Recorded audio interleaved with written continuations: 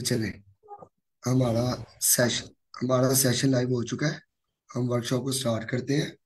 सबसे पहले मैं आप लोगों से ए, अगेन मैं बता दूँ जिन्होंने न्यू ज्वाइन किया है कि आज हमारा टॉपिक होगा डीप लर्निंग विद केडास हम केडास एक लाइब्रेरी को यूज़ करेंगे जिसमें हम इम्प्लीमेंटेशन देखेंगे डीप लर्निंग की और डीप लर्निंग को हम डिस्कस करेंगे। मैं फर्दर कंटिन्यू करता हूँ तो बताता हूँ क्या क्या डिस्कस करेंगे। ठीक है? फ़र्स्ट ऑफ़ ऑल स्टार्ट करने से पहले मुझे वो लोग हैंड रेज करते हैं जो आज डीप लर्निंग को पहली दफ़ा देख रहे हैं या पहली पहली दफ़ा उनका वो कुछ सुनने जा रहे हैं डीप लर्निंग के बारे में आइडिया नहीं है और वो हैंड रेज कर दें ताकि मुझे पता हो और मैं उस हवाले से ना उसको फिर लेके कंटिन्यू करूँ।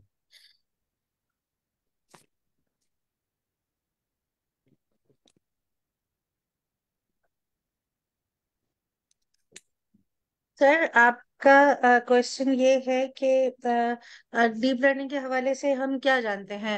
इसके बाद आप कंटिन्यू करेंगे। I'm right am I right जी। नहीं जानते नहीं आप जानते हैं कुछ क्या नहीं? ये आपके लिए बिल्कुल न्यू टॉपिक है।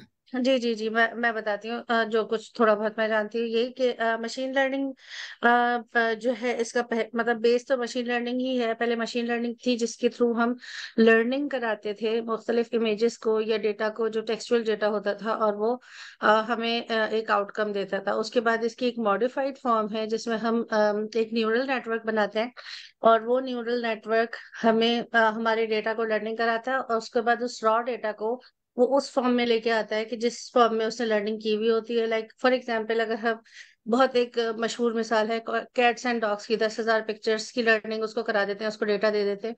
तो जब उसका आउटकम आता है उसके बाद हम कहीं और से कोई पिक्चर लेते हैं टेस्टिंग के लिए तो वो पहचान जाता है कि ये कैट है या डॉग है। इसी तरह से मुख्तलिफ़ और ये बेस है इसका और फिर आहिस्ता आहिस्ता करके हम उसको लाइक जी।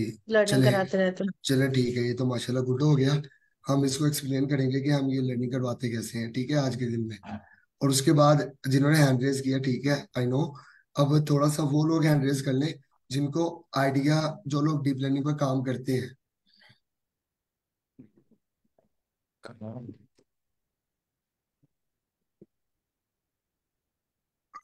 ठीक है। चले आपकी हेल्पफुल होगी अगर आप लोग कुछ एडिशन करना चाहें। डीप लर्निंग पर जो लोग काम करते हैं तो मोर देन वेलकम आप मुझे कभी भी स्टॉप कर कर उसमें एडिशन करवा सकते हैं कि नहीं ये भी चीज़ हम ऐड कर सकते हैं ठीक है? अच्छा अगेन स्टार्ट करने से पहले एक और बात कि आज की जो वर्कशॉप है हम एक बहुत हाई लेवल पर चीज़ों को देखेंगे। हम डीप लेवल पर नहीं देखेंगे हम हाई लेवल पर देखेंगे।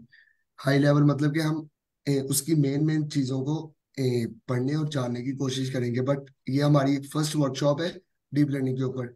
इस टॉपिक पर हम मल्टीपल वर्कशॉप कंडक्ट करेंगे, जिसमें हम आगे इमेज प्रोसेसिंग हम जितने नेटवर्क्स हैं जो जो हम काम कीड़ास पे देख रहे हैं, उसको हम फिर डीपली देखेंगे भी और उनको समझेंगे भी, ठीक है? कि इलेदर लेदर टर्म क्या है? तो मतलब कहने का मकसद मेरा ये है कि अगर आपको कोई चीज़ें समझ नहीं आ रही तो परेशान होने की ज़रूरत नहीं है। हम हर वीकेंड कोशिश करेंगे कि वर्कशॉप ऑर्गेनाइज करें और उसमें हम चीज़ों को बहुत डिटेल से डिस्कस करेंगे बट आज के लिए हम एक हाई लेवल पर चीज़ों को देखेंगे, ठीक है?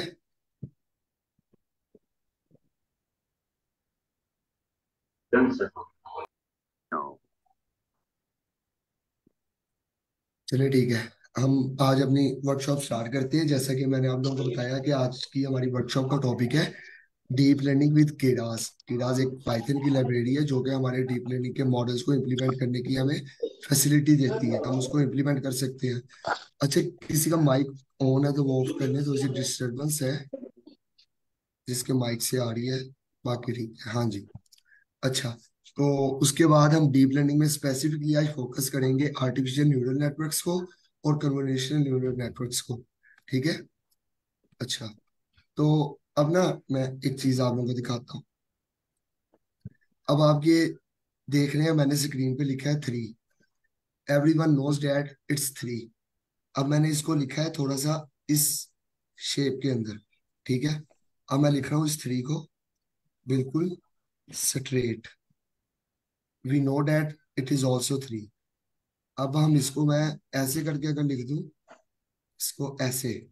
अब इसकी डायरेक्शन दूसरी तरफ़ है, लेकिन we again know that it's three ये हमें क्यों पता लग रहा है? क्योंकि हमारे माइंड ट्रेन है। हमें पता है कि थ्री है, लेकिन जब हमने अपनी लाइफ में फ़र्स्ट टाइम थ्री कवर देखा था तो हमने वो स्ट्रेट देखा था, और हमें तब पता लगा था वो थ्री है। लेकिन बाद में जब हमें हमने उसे डिफरेंट एंगल से देखा या डिफरेंट चीज़ों को डिफरेंट एंगल से देखना शुरू किया तो हमें रिकग्नाइज हुआ कि अगर इसका एंगल भी चेंज है, लेकिन बट इट्स थ्री ठीक है? तो डीप लर्निंग बेसिकली सबसेट है मशीन लर्निंग का। आई थिंक मशीन लर्निंग का होप सो आइडिया होगा बहुत सारे लोगों को बट अब डीप लर्निंग की तरफ़ मशीन लर्निंग की तरफ़ नहीं जाएँगे, हम डीप लर्निंग करेंगे। Deep learning is the subset of machine learning ठीक है? डीप लर्निंग पर अगर हम ज़्यादा अगर हम देखें कि हम डीप लर्निंग पर इम्फोसाइज क्यों करते हैं, हम बाकी चीज़ों को भी लेकर चलते हैं बट ज़्यादातर इमेजेस पर काम करने वीडियोस या ऑडियोस पर काम करने के लिए हम डीप लर्निंग को यूज़ करते हैं और डीप लर्निंग के मॉडल्स को यूज़ करते हैं, ठीक है? डीप लर्निंग में दो चीज़ें आती हैं सुपरवाइज लर्निंग और अनसुपरवाइज लर्निंग आई थिंक जो रिसर्च है वो काफ़ी ज़्यादा डीप लर्निंग पर चल रही है. अब जो सुपरवाइज लर्निंग है, उसमें हमारे पास बेसिकली तीन नेटवर्क्स आ जाते हैं जिनमें न्यूरल नेटवर्क्स हम अगेन न्यूरल नेटवर्क्स को डिस्कस करते हैं। ए, तीन आ जाते हैं हमारे पास जैसे कि artificial neural networks convolutional neural networks and RNN तो हमारे पास के तीन बेसिक बेसिक न्यूरल नेटवर्क्स हमारे पास समझे जाते हैं ठीक है? उसके बाद आ जाती है हमारे पास unsupervise learning unsupervise unsupervise all you know that कि हमारे पास जो आउटपुट है वो लेबल नहीं होती हमें आउटपुट गिवन नहीं होती। तो डीप लर्निंग में फिर जो अनसुपरवाइज का सेक्शन है, उसमें हम क्या करते हैं कि हमारे पास आउटपुट इनपुट और जनरेटिव एआई आता है, जो कि एडवांस फील्ड्स चल रही है काफ़ी ज़्यादा, ठीक है?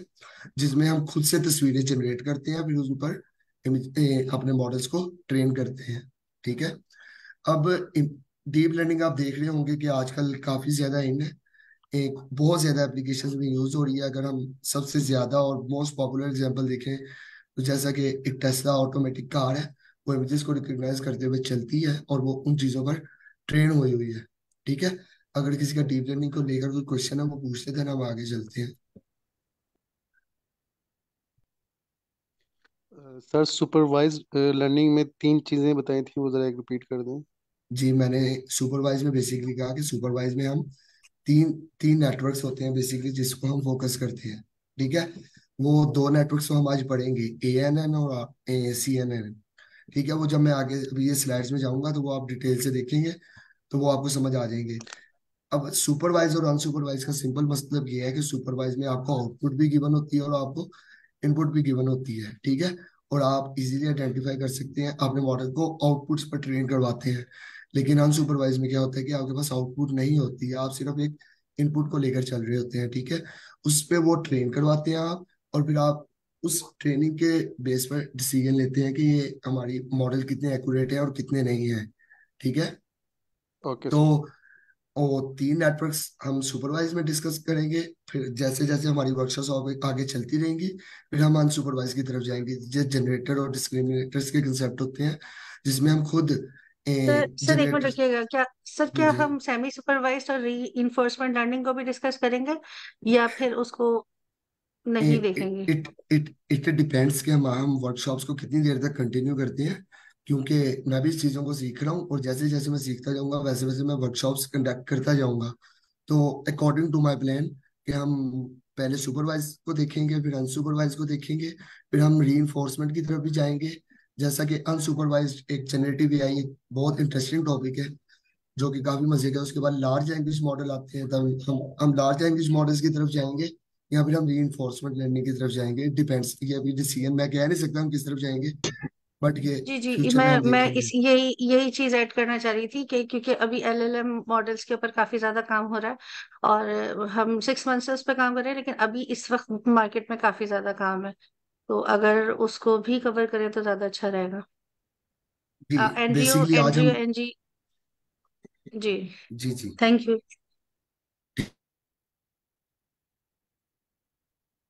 Yeah. Big,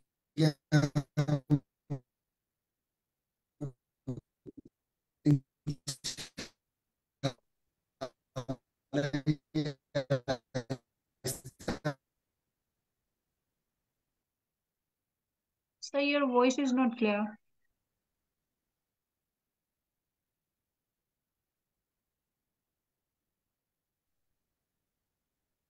वैसे ही वर्क करने की वर्क करती है। इसको बनाया ही ऐसे गया है कि जैसे कि हमारे दिमाग के न्यूरॉन्स ट्रेन हुए हैं, ऐसे ही ये डीप लर्निंग भी वर्क करे।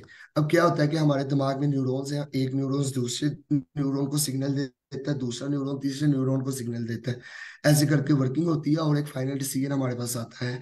ऐसे ही डीप लर्निंग के अंदर ये न्यूरॉन्स के कॉम्बिनेशन होता है, जो कि जो हमारा डाटा है उन डिफरेंट लेयर्स के अंदर से गुजर कर एक आउटपुट की तरफ़ जाता है, जिधर हमें डिसीज़न मिलता है, ठीक है? सबसे पहले हम डिस्कस करेंगे आर्टिफिशियल न्यूरल नेटवर्क्स को, ठीक है? आर्टिफिशियल न्यूरल नेटवर्क जैसे कि इधर मेंशन है कि इंस्पायर्ड है ब्रेन के आर्किटेक्चर से ह्यूमन ब्रेन के स्ट्रक्चर से, और वो फंक्शनैलिटी भी ऐसे ही परफॉर्म करते हैं जैसे कि ह्यूमन के ब्रेन परफॉर्म करते हैं। जैसा कि मैंने आपको एक सिंपल एग्जांपल दी कि सबसे पहले अगर हमने कोई नई चीज़ देखी, वो हमने स्ट्रेट देखी, हमने उसको पता लग गया कि ये चीज़ दिस इज़ इस चीज़ का नाम ये है और इस चीज़ को हम क्या कहते हैं? देन हम अब हमारा दिमाग उसको इस हिसाब से ट्रेन है कि अगर आप उसको उल्टा, सीधा, टेढ़ा, मेढ़ा जैसा भी दिखा दो, आप उसको रिकॉग्नाइज कर सकते हो कि ये वही चीज़ है। ठीक है?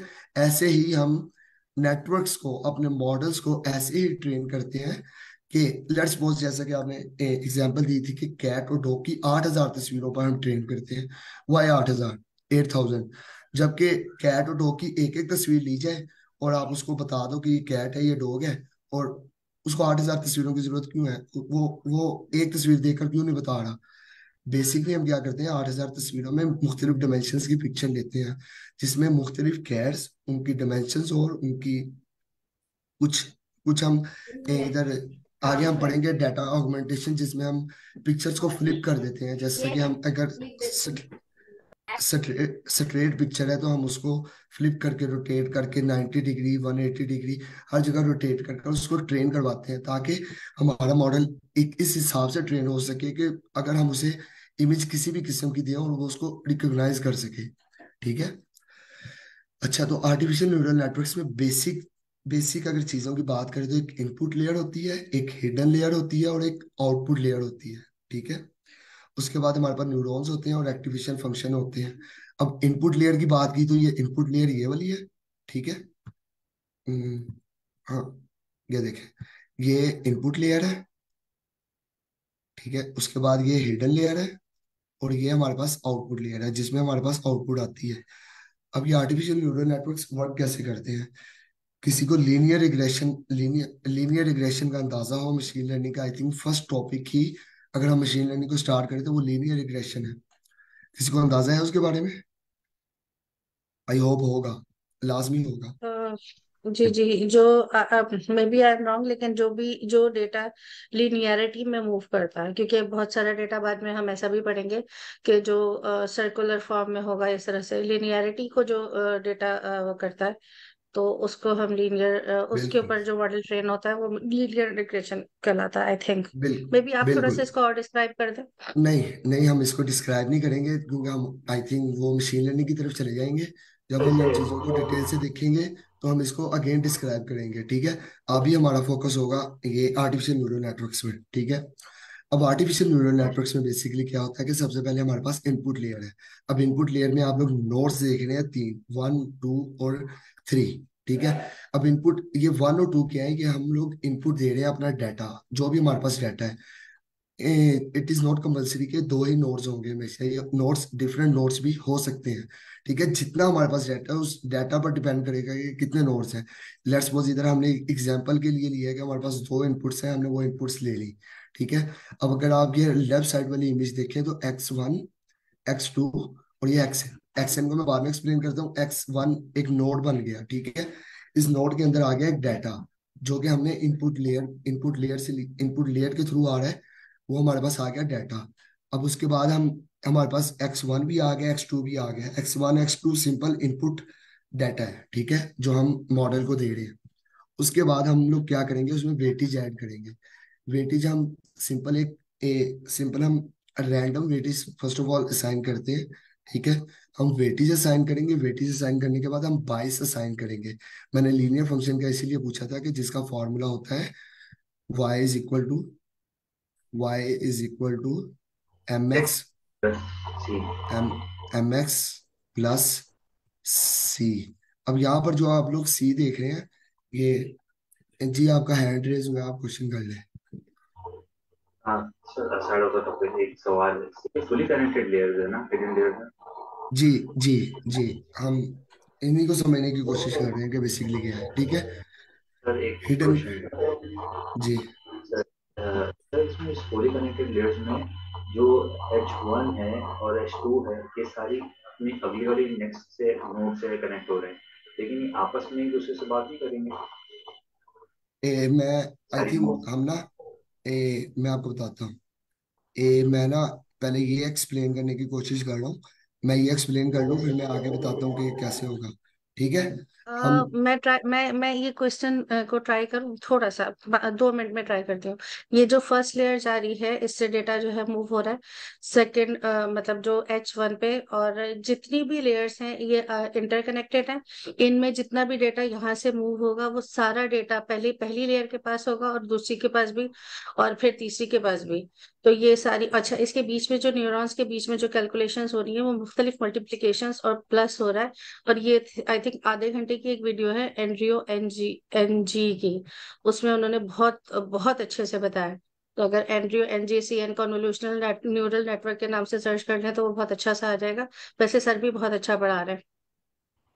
जी मैम प्लीज़ उस वीडियो को लिंक शेयर कर दें स्लैक में। मेरा सवाल ए, सर मैं ना अभी ये डिस्क्राइब करता हूँ तो होप सो आपका क्वेश्चन क्लियर हो जाएगा। आई थिंक अगर आप टू मिनट्स देंगे तो ठीक है? अच्छा सबसे पहले तो हम बात कर रहे हैं कि हमने hidden layer hidden layer work कैसे करती है ठीक है? इनपुट से डाटा हिडन लेयर में जा रहा है और बेसिकली वो कैसे जाता है किस फॉर्म में जाता है और फिर हिडन लेयर कैसे वर्क करती है और कैसे डाटा आउटपुट में जाता है हम इस चीज़ को समझने की कोशिश कर रहे हैं ठीक है? अभी हम फ़र्स्ट है इनपुट लेयर पर ठीक है? इनपुट लेयर मैंने आपको बताया कि एक्स वन और एक्स टू हो गई? इनपुट लेयर में हमारे पास जो हमारे पास डाटा है, वो हमारे पास डाटा इनपुट लेयर में आ गया। अब हमने इनपुट लेयर को इनपुट लेयर में जो डाटा है, उस डाटा को लेकर जाना है हिडन लेयर्स के अंदर, ठीक है? अब जो हिडन लेयर के अंदर डाटा लेकर जाने का तरीका कार है, वो ये है कि हम उसको वेटेज असाइन करेंगे। हम फ़र्स्ट ऑफ़ ऑल पहले रैंडम वेटेज असाइन करेंगे। वेटेज असाइन करने में क्या होगा? लेट्स सपोज़ हमारे पास एक्स वन क्या है? मैं इधर एनोटेट करता हूँ दोबारा। हमारे पास लेट्स सपोज़ एक्स वन है फोर ठीक है? उसको वेटेज हम असाइन कर देते हैं। ज़ीरो पॉइंट कुछ। ठीक है? ज़ीरो पॉइंट कुछ, उसको हम वेटेज असाइन कर लेंगे। वेटेज असाइन करने के बाद हम उन दोनों को बल्कि इनको हम मल्टीप्लाई करेंगे, ठीक है?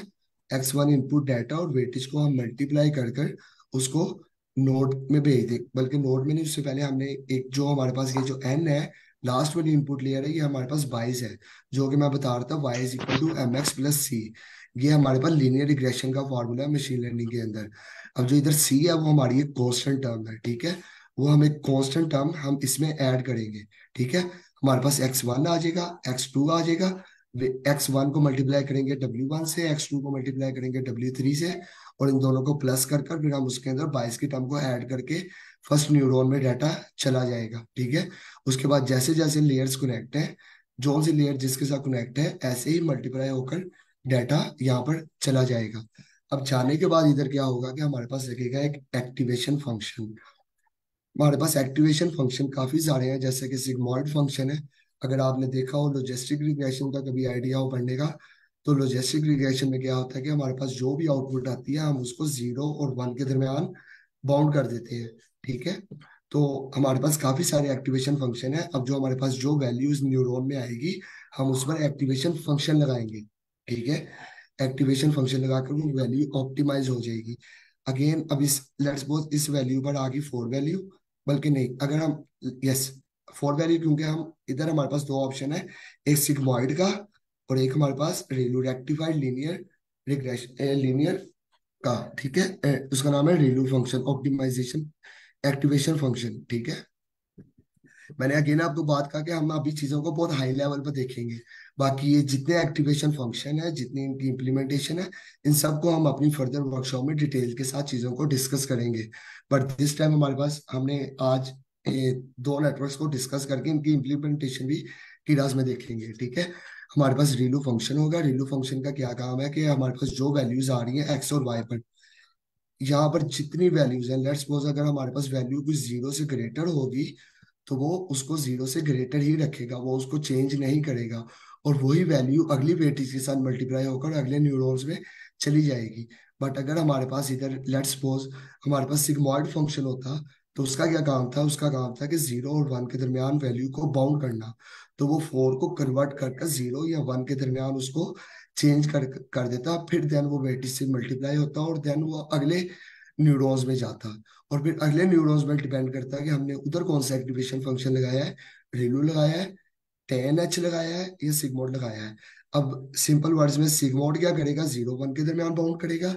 अब रेलू क्या करेगा? रेलू ज़ीरो से लेके इंफिनिटी तक ए, उसको बाउंड करेगा और टेन एच क्या करेगा? माइनस वन से लेके वन तक वैल्यूज़ को बाउंड करेगा ठीक है? ऐसे ही हमारे पास वैल्यूज़ मल्टीप्लाई होंगी और हमारे पास हर न्यूरोज में वैल्यूज़ आ जाएँगी। वैल्यूज़ आने के बाद अगेन हम उसको वेटी से साइन करेंगे। वेटी से साइन करने के बाद हम बाई से साइन करेंगे। बाई से साइन करने के बाद वो हमारे अगले न्यूरोन्स पर चल जाएँगे। उधर जो सा हम एक्टिवेशन फ़ंक्शन लगाएँगे, जो कि स्पेसिफिकली हमारी प्रॉब्लम्स पर डिपेंड करते हैं कि हम कौन से एक्टिवेशन फ़ंक्शन को यूज़ करेंगे। बट अगर मैं स्टैंडर्ड फ़ंक्शन की बात करूँ, जो सबसे ज़्यादा यूज़ होता है, वो है रिलू जिसमें हम वैल्यू बाउंड करते हैं ज़ीरो से लेके इन्फिनिटी तक। ठीक है? तो ऐसे ही ऐसे ही ये न्यूरॉन्स क्या करेंगे कि चलते जाएँगे। अब मशीन लर्निंग में लीनियर रिग्रेशन में क्या होता था कि हम लोग सिर्फ़ अगर लीनियर रिग्रेशन या लॉजिस्टिक रिग्रेशन लगा रहे हैं हम एक दफ़ा डाटा को लीनियर रिग्रेशन या लॉजिस्टिक रिग्रेशन लगाया और हमने आउटपुट ले ली। बट न्यूरल नेटवर्क्स में क्या हो रहा है कि एक फ़ंक्शन इधर लग रहा है, इधर लग रहा है, इधर लग रहा है। अब हमारे पास जितने नोड्स हैं, उतने दफ़ा फ़ंक्शन लग रहा है और वो उतनी दफ़ा डाटा ट्रेन हो रहा है, ठीक है? तो ऐसे ही वो इस तरह ही न्यूरॉन से पास होकर हमें आउटपुट मिल जाएगी, ठीक है? उसके बाद हम चीज़ों को देखते हैं कि हमने सब डिस्कस कर लिया। मैं इसको रेज कर देता हूँ। अगर यहाँ पर कोई क्वेश्चन है तो आप पूछ लें।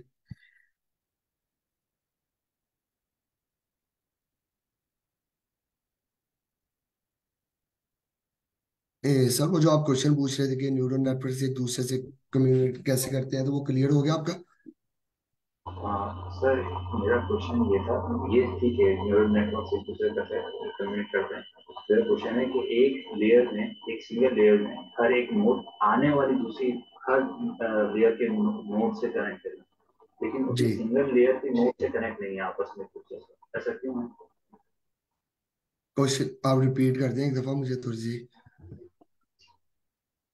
सर यहाँ पे एक हिडन लेयर है एच वन ले लें। जी। है एच वन का हर एच वन का हर नोड एच टू के हर नोड से कनेक्ट है ठीक है?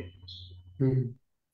लेकिन एच वन का हर नोड आपस में दूसरे से कनेक्टेड नहीं है राइट बिल्कुल। बेसिक इसका क्वेश्चन इसका आंसर मैं दे दूँ? सर जी सर जी सर। जी सर जी सर। अच्छा मेरे भाई ऐसा है अभी मैं देख रहा था कि इस किस्म के क्वेश्चन बेसिक आ रहे थे कि ये लेयर्स आपस में न्यूरॉन्स क्यों कनेक्टेड नहीं है? या न्यूरॉन पीछे को क्यों कनेक्टेड नहीं है? या आगे को क्यों कनेक्टेड नहीं है? ये चीज़ थोड़ी सी आपको समझ आएगी जब आप इस डोमेन में आगे चले जाते हैं तो।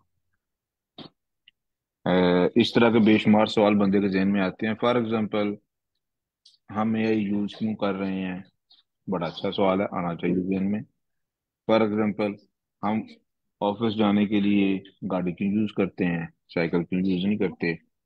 तो जब आप कोई भी चीज़ शुरू कर रहे होते हैं तो इस तरह के क्वेश्चन आते हैं जहन में, लेकिन थोड़ा सा अपने आप को टाइम दें। अगर आप कंसिस्टेंट रहेंगे तो समझ आ जाएगा।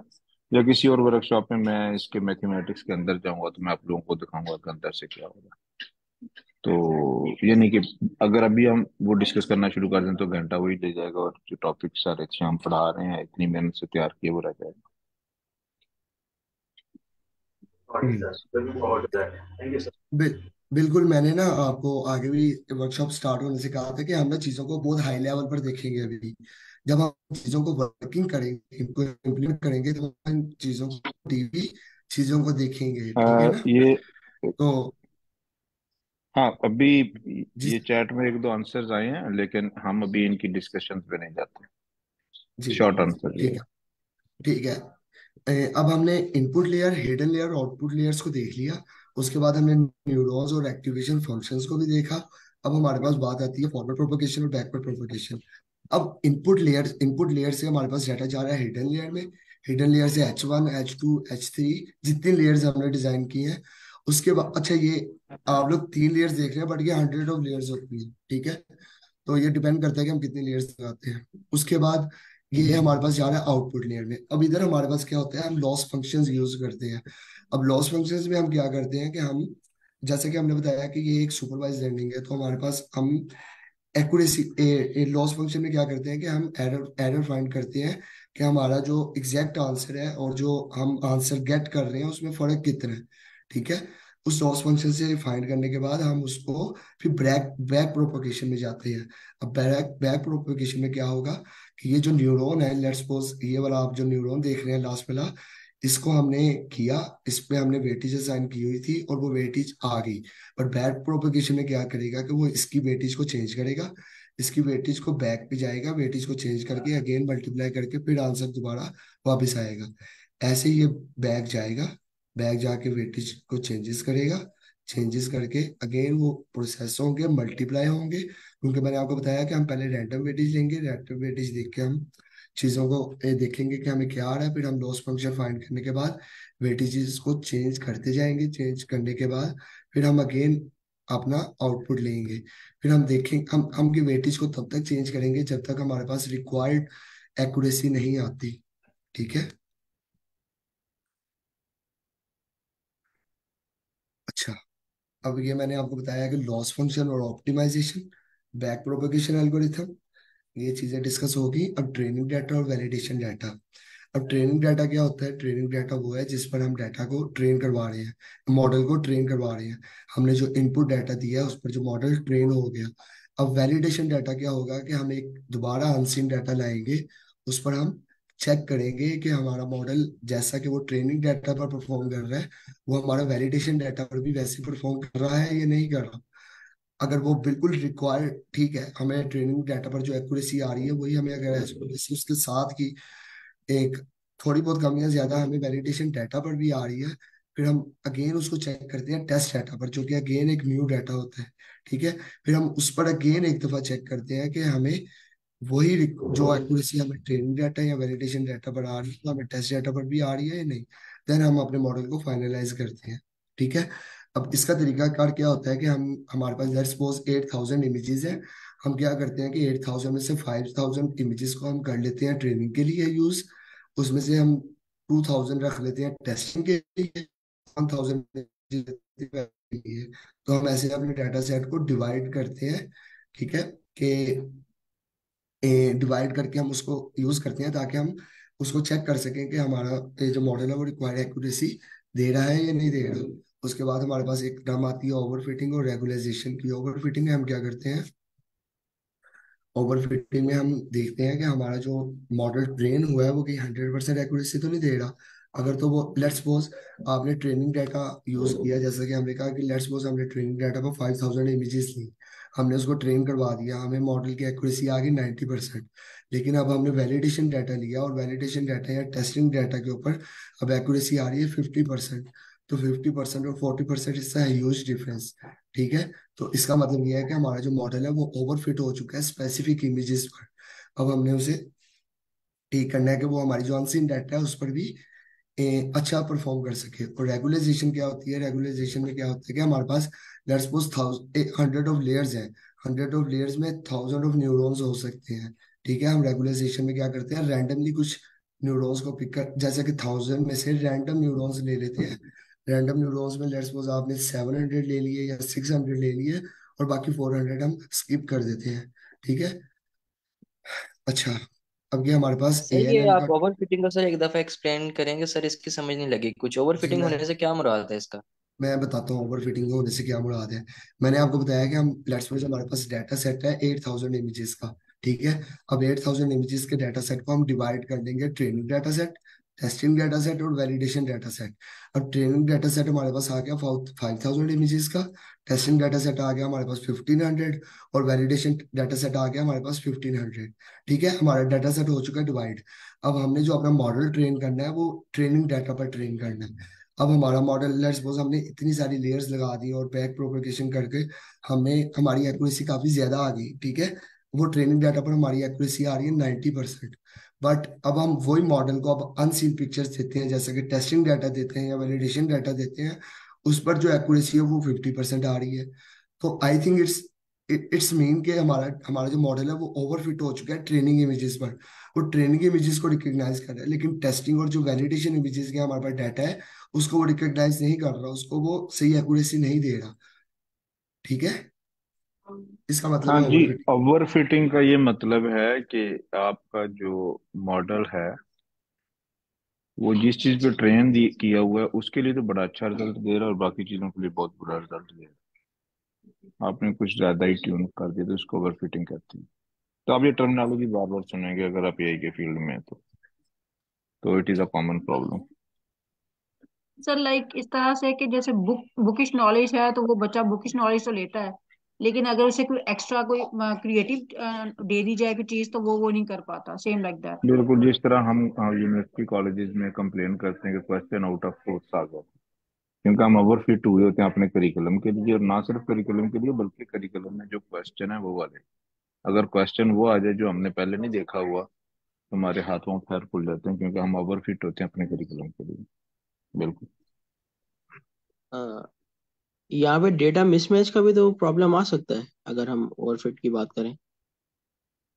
मिसमैच से भी अ, क्या मुराद है मतलब कि आपका जैसे जो ट्रेन हुआ हुआ है ट्रेन आपका हो गया हाई क्वालिटी इमेजेस पे और आप उसको टेस्ट कर रहे हैं लो क्वालिटी इमेजेस पे तो ये आपका डेटा मिसमैच का भी तो प्रॉब्लम आ जाता है। आ सकता है अगर मैं ये इसमें कहना चाहूँ ओवरफिटिंग की जगह। सर मैं आंसर कर दूँ इसका? जी ए, आप करें। जी जी। बेसिकली सर ऐसे होगा कि हम, मैंने आपको बताया, अगर हम आगे चलेंगे ना तो हम इमेजेस पर भी काम करेंगे। हम ऐसे ही इमेजेस उठा के डाटा ट्रेन नहीं कर देंगे, बल्कि एक इमेजेस इमेज प्रोसेसिंग पूरा एक सीन चलेगा पूरा, ठीक है? मेरे ख्याल से हम एक special workshop image image processing पर कंडक्ट करेंगे कि पहले हम एक ही साइज़ की इमेजेस बनाकर, उनकी शेप को कर कर, फिर हम उसको ट्रेन करवाते हैं, ठीक है? तो तो तो, तो सर मैं भी मैं भी थोड़ी सी एक चीज़ ऐड करना चाहती हूँ जैसे uh, मुझे भी बहुत कंफ्यूजन थी जब मैं पढ़ रही थी कि ये ओवर फिटिंग होती क्या है।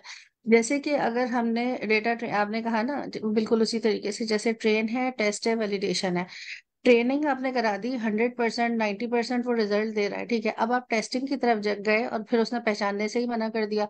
वो चार तस्वीरों में से तीन बिल्ली की तस्वीरें हैं और एक डॉग की है तो वो मतलब उसने तीन तो सही पहचान ली, एक नहीं पहचानी।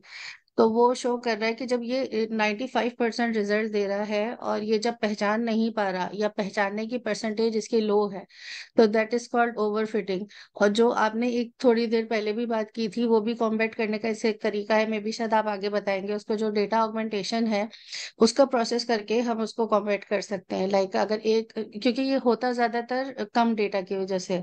जब डेटा क्योंकि हमें ये एन जब हम यूज़ करते हैं तो हमें डेटा ज़्यादा चाहिए होता है ताकि उसके पास इतनी ज़्यादा लर्निंग हो कि जब वो कहीं से भी कोई भी चीज़ देखे तो उसको पहचान सके। तो वही जो डेटा आपके पास पाँच हज़ार का है ऑगमेंटेशन के थ्रू आप उसको पंद्रह हज़ार या बीस हज़ार पे ले जाते हैं तो फिर जब उसको हम चेक करते हैं तो वो इस वाले प्रॉब्लम से निकल जाता है। जी थैंक यू मैम आपने अच्छा एक्सप्लेन किया। बेसिकली सर मैं वही बात कर रहा हूँ कि वैलिडेशन का बता दें ट्रेन का भी समझ आ गया टेस्ट का भी ये वैलिडेशन किस तरह करता है? अच्छा ये ये ना ये तकरीबन सबको कॉमन प्रॉब्लम रहती है ये वाली चीज़ कि वैलिडेशन तो टेस्टिंग तो सबको समझ आती है कि टेस्टिंग आ गई लेकिन वैलिडेशन क्या चीज़ है? वैलिडेशन डाटा सेट क्या चीज़ है? अच्छा वैलिडेशन डाटा सेट ना आपका टेस्टिंग का पार्ट होता है यानी कि क्योंकि आप ट्रेनिंग और टेस्टिंग और वैलिडेशन एक ही डाटा सेट से स्प्लिट्स बनाते हैं उसके तो अब जैसे कि फॉर एग्जांपल्स हम एक एक सिनेरियो लेते हैं कि हम एक इवेंट ऑर्गेनाइज करवाते हैं, अपना एक चैलेंज देते हैं कि हमारे पास ये सेंसर्स हैं, इनसे डाटा आ रहा है। इन डाटा से आपने ह्यूमन एक्टिविटी रिकॉग्निशन करनी है कि आप आप फॉर एग्जांपल कैमरा लगा दें और कहें जो भी यहाँ से गुजर रहा है ना, वो बस हमारे, हमें कैमरा से शो हो कि वो क्या कर रहा है, उसकी एक्टिविटी क्या है। कोई भी, यानी कि वो दौड़ के गुजरा है, वो पैदल गुजरा है, वो बाइक पे गुजरा है, कुछ भी इस तरह के। हमारा यूज़ केस है। तो अब हम क्या करेंगे? हम अब जब हम चैलेंज लॉन्च करेंगे ना तो हम डाटा उसको प्रोवाइड करेंगे अपने लोगों को कि ये डाटा सेट है, इस पे आप अपना रिज़ल्ट हमें दें। तो हम क्या करेंगे? हम एक ट्रेनिंग डाटा देंगे, एक वैलिडेशन डाटा देंगे।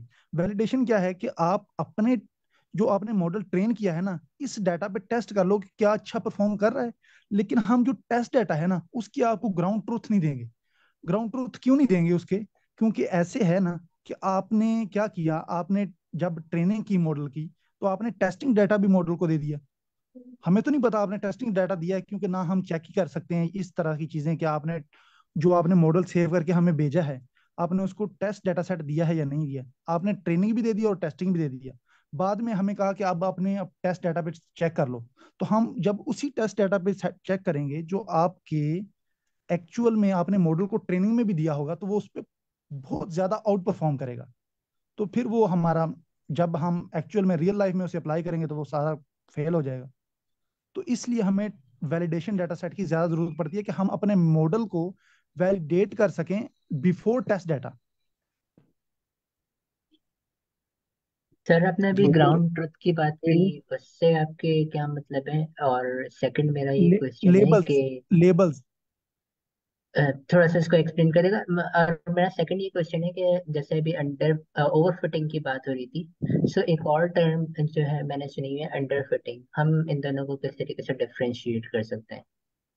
ठीक है फ़र्स्ट ये अबाउट बात आपकी लेबल्स ठीक है। अच्छा जो आपने ग्राउंड ये की बात की जी।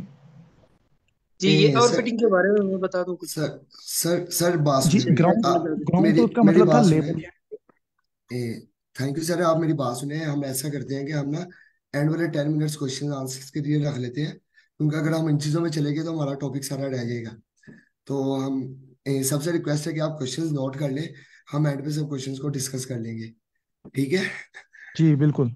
जी जी thank you so much thank you so much अच्छा मैंने आपके साथ चैट में ना लिंक शेयर किया है कीड़ास का। हम बेसिकली जो मॉडल्स बढ़ रहे हैं अब हमने इसको इम्प्लीमेंट भी करना है ठीक है? अब इम्प्लीमेंट करने के लिए हमारे पास डिफरेंट लाइब्रेरीज हैं टेंसर फ्लोज है पाइटॉर्च है कीड़ास है ठीक है? अब हम जो स्पेसिफिकली आज हमारी वर्कशॉप का टॉपिक भी है वो ये है कि हम स्पेसिफिकली एक कीड़ास को देखेंगे कि कीड़ास एक एपीआई है जो कि हमें ए, कीड़ास एक लाइब्रेरी है जो कि हमें एपीआई देती है न्यूरल नेटवर्क्स को बनाने neural not specifically neural networks बल्कि नेटवर्क्स जितने भी हैं इनको बनाने के लिए हमें एक एपीआई देती है। लेट्स सपोज़ अगर हमने अब अब जो हमने मैथमेटिकल मैथमेटिक्स देखी ए, मॉडल्स की जैसा कि ए एन एन की मैंने आपको फॉर्मूला बताया अगर हम इन चीज़ों को नमपाई से सोल्व करें तो हम अपने मॉडल्स बना सकते हैं बट वो एक बहुत ज़्यादा टाइम रिक्वायरिंग चीज़ है ठीक है? उसके लिए हमें लाइब्रेरी मिलती है एपीआई जो कि हमें अलाउ करती है कि हम ये मॉडल्स को बना सकते हैं। तो मैं थोड़ी सी आपको इम्प्लीमेंटेशन बताऊँगा इसकी। मैंने ये इम्प्लीमेंटेशन ऑलरेडी करके रखी हुई है ताकि हमारा टाइम सेव हो, ताकि मैं इसको एक्सप्लेन कर दूँ। ठीक है? अब हम इसको इंस्टॉल कैसे करेंगे? अगर आप पाइथन यूज़ कर रहे हैं तो आप सिंपल इसको लिखें। ये देखें। अब pip install tensor tensor flow आप इसको टेंसर फ्लो को लिखेंगे आप इसको एंटर करेंगे, ये आपका टेंसर फ्लो इंस्टॉल हो जाएगा। टेंसर फ्लो आपका इंस्टॉल हो जाएगा, आपका कीडास भी ऑटोमेटिकली इंस्टॉल हो जाएगा, क्योंकि कीडास जो वर्क करता है, वो tense under the hood of TensorFlow करता है, ठीक है? तो हमने इधर क्या किया हुआ है कि सिंपल हमने कीडास डॉट मॉडल अब हमने कीडास से जो मॉडल्स को इम्पोर्ट किया कीडास एक ऐसी लाइब्रेरी है जो कि हमें एक sequential model sequential layers import करने की फैसिलिटी देती है। जैसा कि आपने ये स्लाइड्स में देखा होगा कि हमारे पास ए एन एन की काफ़ी सारी लेयर्स होती हैं, ठीक है?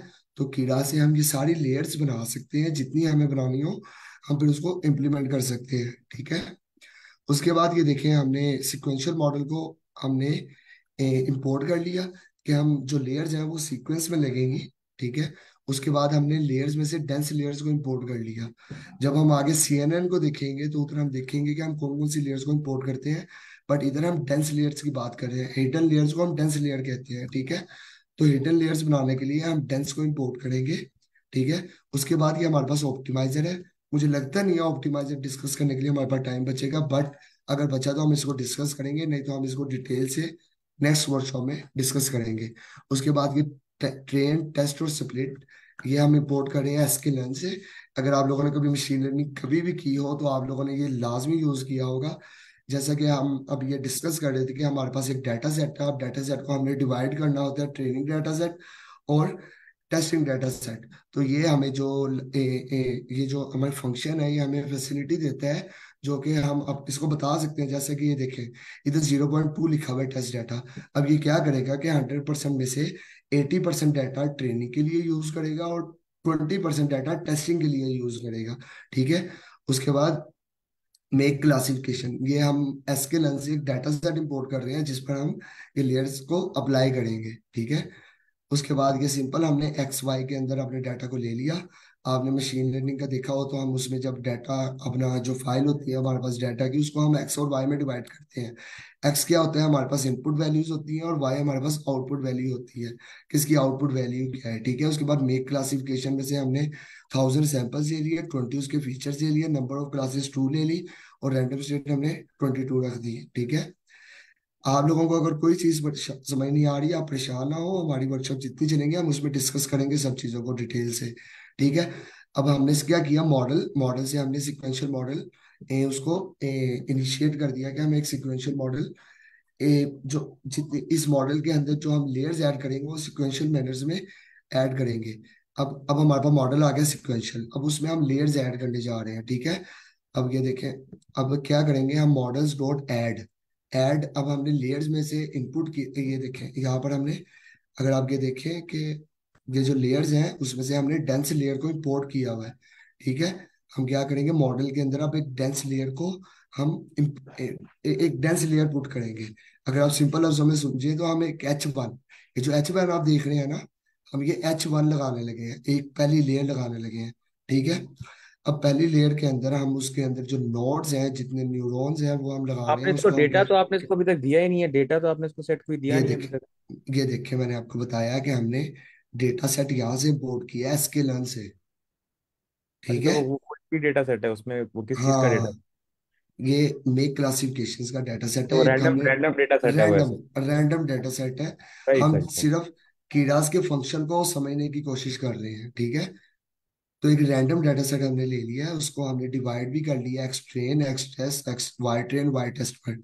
एक्स का मैंने बता दिया एक्स इनपुट है वाई जो है जो हमारे पास आउटपुट आनी है उस वैल्यूज़ को डिफाइन कर रहे हैं, ठीक है? उसके बाद हमने मॉडल बना लिया सिक्वेंशियल सिक्वेंशियल मॉडल के अंदर हमने लेयर ऐड कर लिया डेंस ठीक है? डेंस लेयर के अंदर हमने यूनिट यूनिट मतलब नोड्स और न्यूरॉन्स जितने हैं, ठीक है? फ़र्स्ट लेयर के अंदर। अब ये देखें, यहाँ पर आप फ़र्स्ट लेयर देखें तो एक, दो, तीन, चार शो हो रहे हैं। तो यहाँ पर चार शो हो रहे हैं, लेकिन हमने जो अपनी लेयर बनाई है, उसके अंदर हमने थर्टी टू न्यूरोन्स लगाए हैं, ठीक है? उसके अंदर ये हम नंबर ऑफ़ फीचर्स बता रहे हैं कि उसके नंबर ऑफ़ फीचर कितने हैं।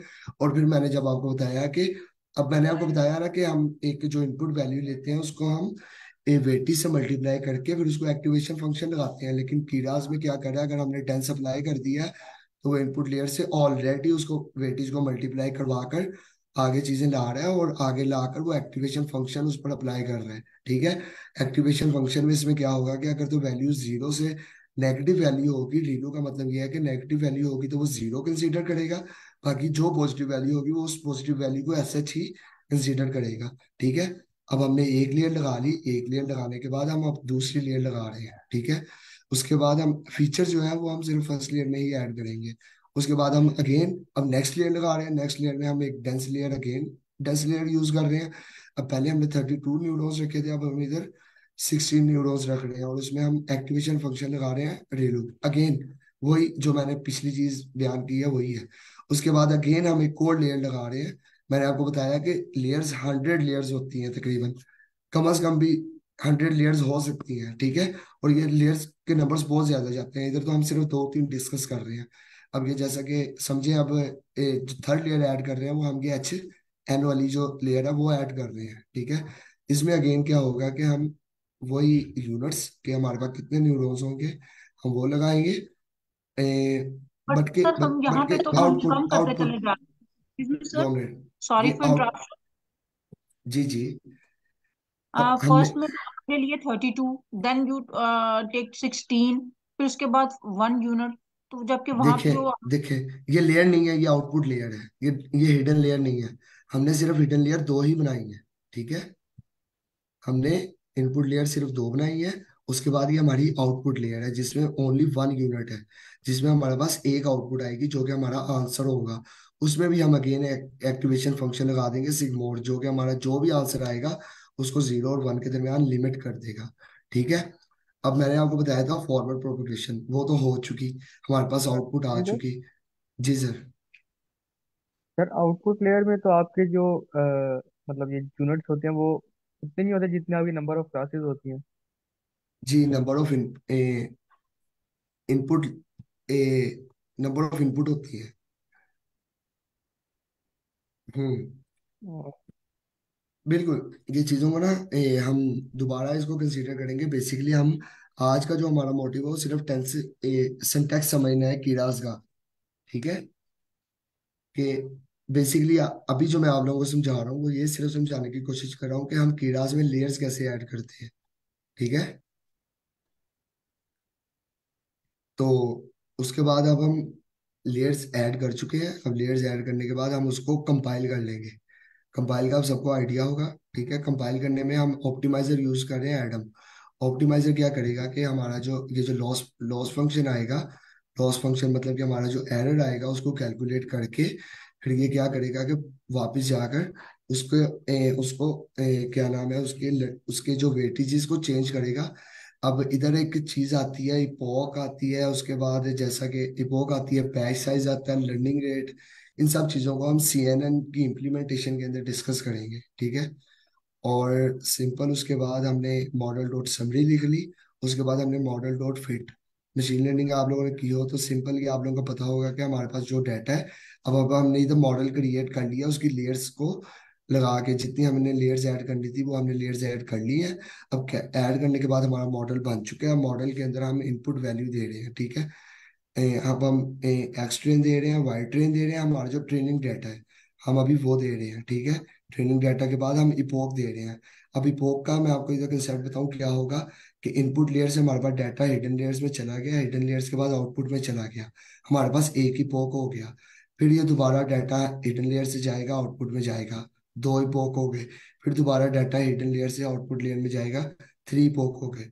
मतलब कि एक दफ़ा पूरा प्रोसेस कंप्लीट हो जाएगा इपॉक वन होगा। इसका मकसद क्या है कि लेट्स सपोज़ हम जैसे बच्चों ने होते हैं हमने उनको ए बी सी सिखानी हो तो हम उनको बार बार ए ए ए बी बी सी सी उनको बार बार पढ़ाते हैं ठीक है? ताकि उनके जहन में सेव ए, सेव हो जाए वो चीज़ें। ऐसे ही इपॉक लगाने का मकसद ये है कि वो बार बार उसकी ट्रेनिंग करवाते हैं ताकि मॉडल अच्छे तरीके से ट्रेन हो सके। बैच साइज़ क्या होता है? बैच साइज़ अब हमने थर्टी टू रखा है ये हमारे मॉडल जो हमारा डाटा है उसको डिवाइड कर देता है बैचेस बैचेस के अंदर। पहले पहले क्या करता है कि मॉडल एक बैच पर लेट्स सपोज़ हमारा फाइव थाउज़ेंड इमेजेस पर इमेजेस इमेजेस पर डाटा सेट है, हम उसको डिवाइड कर लेते हैं, बत्तीस thirty two thirty two pictures पर, ठीक है?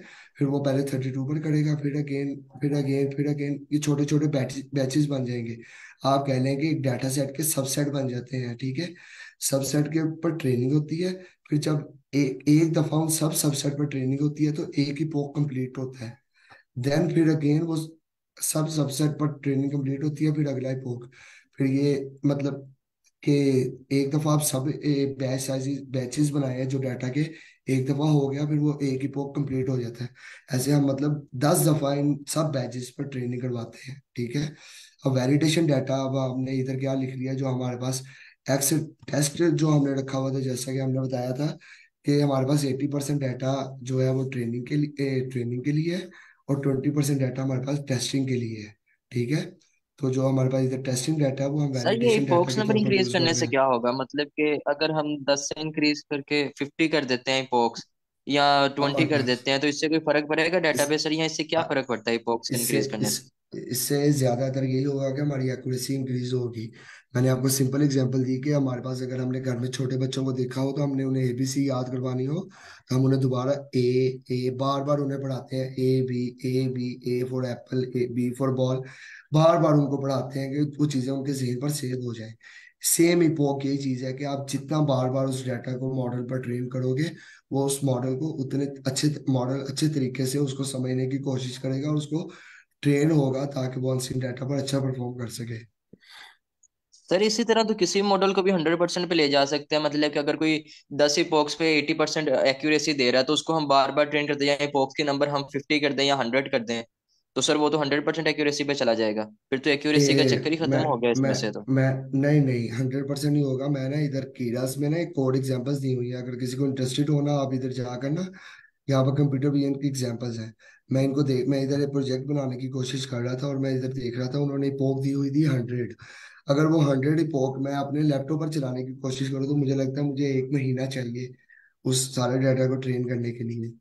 तो इपोक आप ज़्यादा तो नहीं रखते? तो ए, देखिए इपोक आपने उतनी रखनी है कि आपने डाटा को ओवरफिट भी नहीं करना मॉडल को। ठीक है? अगर हंड्रेड परसेंट एक्यूरेसी आ रही है तो उसका यस मतलब है सर कि आई मॉडल थिंक जितनी फिट भी हम हो रहा इंक्रीज है। करते जाएँगे हमारा मॉडल ओवर फिट होता जाएगा।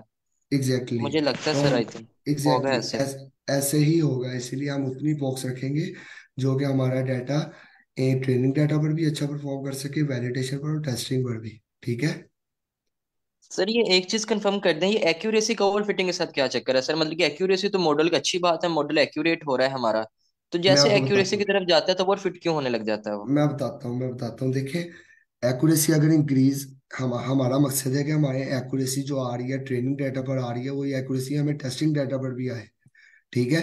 अगर वो दोनों डाटा पर आ रही है फिर तो वो एक्यूरेसी जितनी ज़्यादा है उतनी अच्छी है।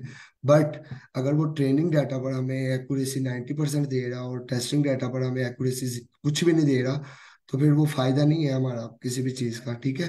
तो हमारा डाटा ओवरफिट हो रहा है उसके लिए हम रेगुलाइजेशन की टेक्निक्स को यूज़ करते हैं जिसमें हम न्यूरॉन्स को स्किप कर देते हैं। हम रैंडमली कुछ न्यूरॉन्स को स्किप कर देते हैं और कुछ को लेते हैं। फिर हम उसको अगेन ट्रेन करवाते हैं और फिर हम उसको चेक करते हैं। ठीक है? और सर ओवर फिटिंग पे सर ये हमारा डाटा भी डिपेंड करेगा कि हमने कितना ज़्यादा डाटा लिया हुआ है ट्रेनिंग के लिए। एग्जैक्टली exactly, बिल्कुल। बिल्कुल। तो हमारे पास जितना डाइवर्स किस्म का डाटा होगा वो उतना ही मॉडल अच्छे तरीके से ओवर फिटिंग के चांसेस कम होंगे। ठीक है?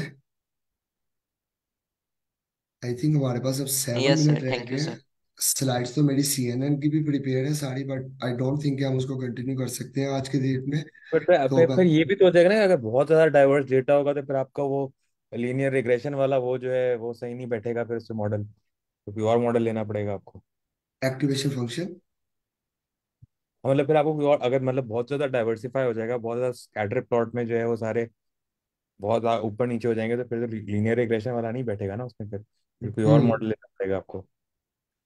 बिल्कुल। जी कोई इस जवाब दे रहा में है अच्छा इस केस में अब फिर हम अब सीएनएन में तो लीनियर जो मॉडल हमारे डिस्कस पास ही नहीं कर रहे? आर्टिफिशियल न्यूरल नेटवर्क है ना ये लीनियर रिग्रेशन की तरह ही आप समझने का काम करता है। लेकिन ये ये बहुत सारी लीनियर रिग्रेशंस को मिला के काम करता है। बहुत सारी। ऐसे बोल सकते हैं आप।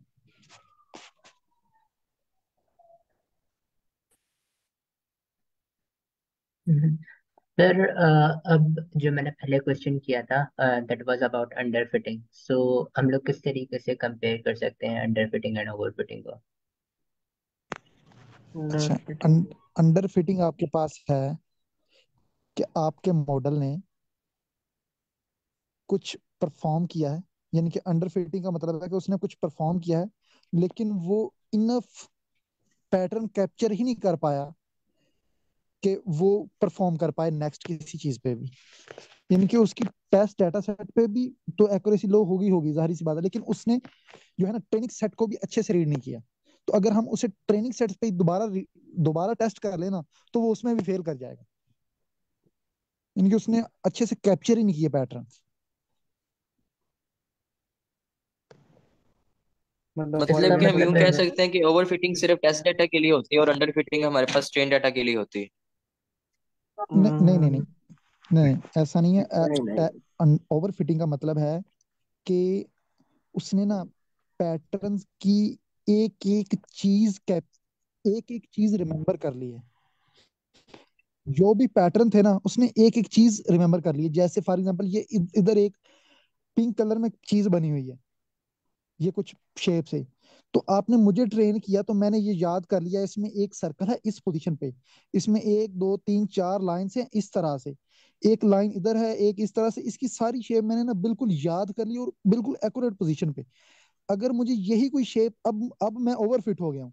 अब मुझे कोई भी ये शेप दिखाए ना थोड़ा सा वो टिल्ट कर दे से तो मैं भूल जाऊँगा कि ये वही शेप है, क्योंकि मैंने तो इनकी पोजीशन भी याद रखी है। तो अब अंडर फिटिंग का मतलब ये है कि अब ये जो शेप है, इसको मैंने अच्छे से अच्छे से मुझे नहीं पता चला। ट्रेनिंग में जब आपने मुझे दिखाई, मुझे इसका सर भी नहीं याद रहा। मुझे इसका ये, इसका एक वो ये लाइन लगी है वो भी नहीं पता लगी। तो आप मुझे दोबारा दिखाएँगे तो मुझे कैसे पता चलेगा? ये वही है जो पहले मैं देख चुका था। हाँ।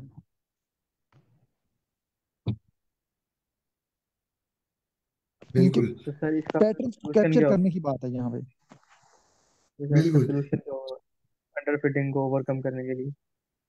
Sir before going on solution sir Ehtesham इसके अंदर मजीद आप एमएल की टर्म्स के अंदर बता सकते हैं कि अच्छा।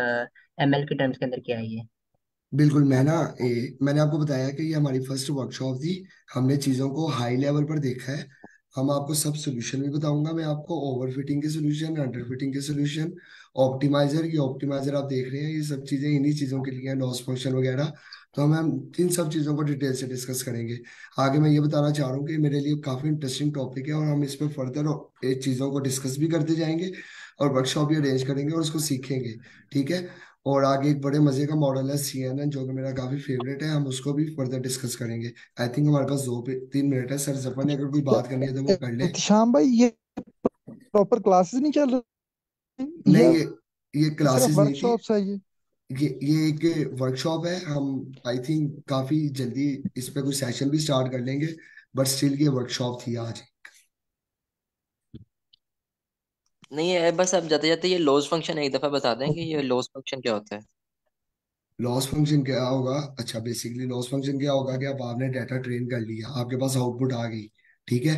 अब ये है सुपरवाइज लर्निंग अब इसमें क्या हो रहा है कि आपके पास, आपको आउटपुट का ऑलरेडी पता भी है कि हमें आउटपुट क्या आनी चाहिए, और फिर आप मॉडल से चेक करते हो कि उस, वो आउटपुट क्या दे रहा है। फिर आप दोनों को कंपेयर करते हो कि इसमें कितना डिफरेंस है। फिर आप उस डिफरेंस को कम करने के लिए पहले लॉस अस्सलाम वालेकुम एवरीवन जी सर अच्छा भाई ये इतने सारे लोग लोग- आप सब लोग क्लास में वालेकुम इसलिए आए हैं कि आप लोगों को एआई का शौक है या इसलिए आए हैं कि इसमें कैरियर अच्छा बन रहा है? सर दोनों। कि मेरे अगर दस साल पहले ये क्लास हो रही होती और हम कहते आए हम आपको स्टैट पढ़ाते हैं तो आप में से किसी ने भी नहीं था आना तो आज हम इसको एआई कह रहे हैं तो तो basically at the end of the day obviously जितने स्टूडेंट्स होते हैं वो जाते हैं अच्छे कैरियर के पीछे। और उस चीज़ की डिमांड बढ़ जाती है जिसमें जॉब्स अच्छी मिल रही होती हैं जिसकी एडवर्टीजमेंट ज़्यादा हो रही होती है। लेकिन एक बात का ख्याल रखिएगा कि इवन गूगल में एप्पल में एआई की जॉब लेने के लिए आप लोगों को कोडिंग अच्छी आनी चाहिए। अगर आप लोगों को कोडिंग अच्छी नहीं आती तो आप बेस्ट आप मैक्सिमम एआई टेक्नीशियन बन सकते हैं। आप एआई ग्रेजुएट लेवल का काम नहीं कर सकते। तो अगर आपका गोल बड़ा है लाइफ में तो देन एआई बेशक आए या ना आए कोडिंग लाजमी आनी चाहिए। तो मैं ये सिर्फ़ आप लोगों को जो साथी नए हैं, बाकियों को तो पता होगा सबको, जो साथी नए हैं तो मैंने ये बात उनके लिए बताई है। राइट दुनिया की जितनी बेहतरीन कंपनीज़ है, अच्छी कंपनीज़ है, वो सब के सब एआई ना आने को कॉम्प्रोमाइज कर लेंगी जॉब दे देंगी। आपको अगर कोडिंग नहीं आती तो नहीं जॉब देंगे। That is a hard requirement किसी का कोई क्वेश्चन है तो कर ले अभी। हमारे पास फ्यू सेकंड्स हैं आई थिंक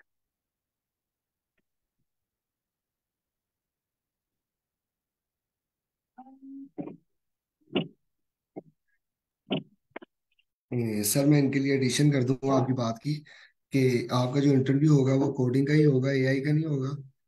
ए, मैंने रिसेंटली इंटरव्यू दिया था तो मेरा भी कोडिंग का लीड कोड का ही इंटरव्यू हुआ था उन्होंने आर्टिफिशियल इंटेलिजेंस की में से कोई चीज़ नहीं पूछी थी। तो ये जो सेशन है हमारा ये लीड कोड का है। आप आई थिंक मेरे ख्याल से ये बेहतर रहेगा कि आप चार दिन लीड कोड करें एक दिन हम एआई देख लें। तो ये ये आई थिंक काफ़ी ज़्यादा बेहतर रहेगा।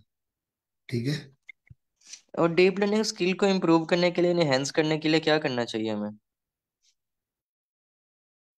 सबसे पहले भाई तो अगर आपको कोडिंग आती है ना तो मैं आपको पूरी डीप लर्निंग आधे घंटे में पढ़ा सकता हूँ। अगर कोडिंग नहीं आती तो फिर सिर्फ़ टकरे मारी जा सकती है। ये बात याद रखिएगा। डीप लर्निंग के लिए जितना मैथमेटिक्स है वो सारा आधे पौने घंटे में खत्म हो जाता है। सही है? तो जो मैं चीज़ कह रहा हूँ वो बेसिकली इसीलिए है ताकि अगर बेस स्ट्रांग हो तो फिर ये चीज़ कॉमन सेंस बन जाती है।